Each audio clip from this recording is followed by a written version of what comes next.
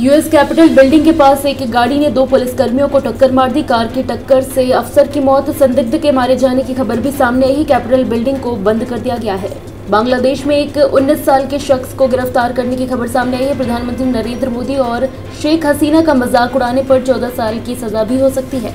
राहुल गांधी ने शुक्रवार को हार्वर्ड कैनेडी स्कूल के प्रोफेसर निकोलस बर्न के साथ लाइव बातचीत में भारत में चल रहे किसान आंदोलन, लॉकडाउन और ईवीएम का ज़िक्र कर सरकार के काम करने के तरीके पर सवाल उठाए हैं। उन्होंने लद्दाख में चीन के अतिक्रमण का मुद्दा भी उठाया।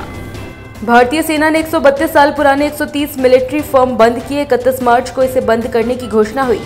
साथ ही दिल्ली छावनी में इन फर्म्स को बंद करने को लेकर एक कार्यक्रम भी आयोजित किया गया।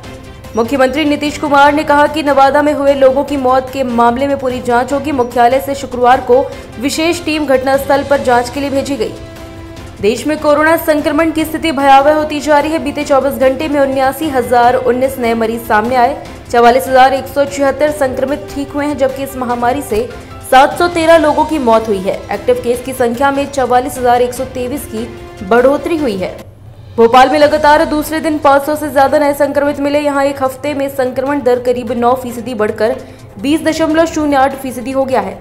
सलमान खान ने शॉर्ट फॉर्म वीडियो ऐप चिंगारी में इन्वेस्टमेंट किया है। बेंगलुरु बेस्ड कंपनी ने शुक्रवार को इस बात का ऐलान किया। कंपनी ने कहा कि बहुत खुशी की बात है कि सलमान खान हमारे ग्लोबल ब्रांड एम्बेसडर और इन्वेस्टर के तौर पर ऑन बोर्ड आए। भारत में आठ अन्य खेलों की प्रोफेशनल लीग की शुरुआत हो चुकी है ऑस्ट्रेलिया, पाकिस्तान सहित पूरी दुनिया में पंद्रह क्रिकेट लीग का आगाज़ होगा। उद्योगपति मुकेश अंबानी के रिलायंस इंडस्ट्रीज़ लिमिटेड ने शुक्रवार को कहा कि उसे अपने तेल रसायन कारोबार को अलग इकाई बनाने के लिए शेयर धारकों और कर्जदाताओं से मंजूरी मिल गई है